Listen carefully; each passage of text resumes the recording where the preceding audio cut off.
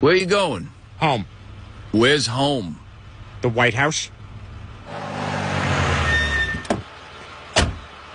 Okay, I'm here. This is my house. You can go now. Thanks for taking me home. Go ahead, go inside. I will. You can drive away now. No, no, I, I want to make sure you get inside safe. Yeah, but I, I gotta look through the mail first. You know how it is. Really, I insist. It, it's totally okay. Go. At this point, it's more about me than it is you. It's a bad neighborhood. If I don't see you go inside, I'll be thinking about it all night.